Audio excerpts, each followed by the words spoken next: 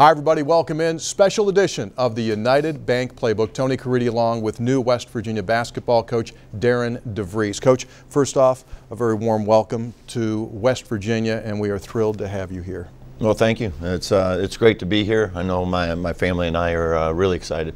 Let's talk a little bit about the process to accept this job. Obviously, uh, you were much sought after. People knew the name and potentially that you could make a move after the season. Why did West Virginia make sense?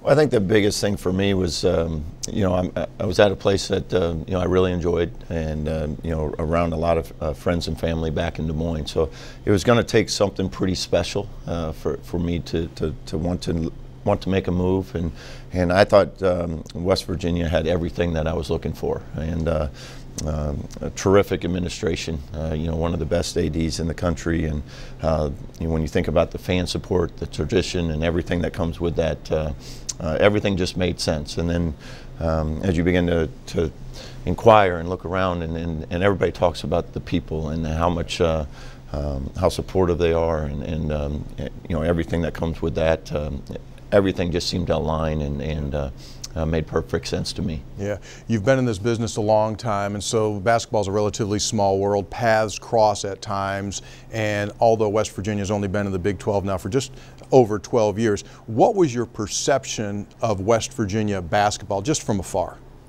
Yeah, I, I, mean, you knew West Virginia from the, the Big East uh, and the success that uh, that um, had in that league, and then making that transition to the Big 12 as well. And uh, so you, um, you know, from a, a, fan standpoint, from afar, a great tradition. And uh, actually had the opportunity when I was an assistant at, at, Creighton University, we, we played West Virginia in the NCAA tournament. Um, uh, didn't turn out in our favor at that time, but it turned out in, in West Virginia's favor. But so I had a really good knowledge, obviously, with Coach Beilein, Coach Huggins, and, and um, the tremendous success that um, uh, they've had here. Yeah, let's talk a little philosophy because when you take a look at your numbers, defense sticks right out there, and then the ability to get the ball down the floor. From a philosophical perspective, when you look back on it, who are you? Who did you draw from to say this is the way I want to play the game?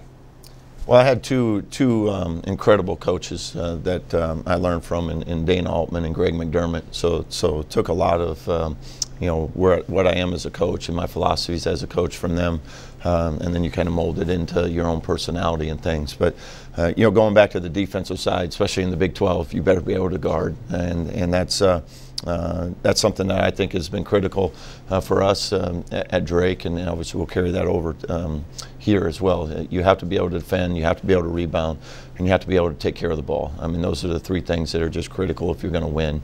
Uh, and then the rest of it, uh, you know, from um, you know, an offensive standpoint, uh, you know, when you get those stops, you get those rebounds. Now we want to run, and uh, our goal on every possession is to try to score in those first 12 seconds.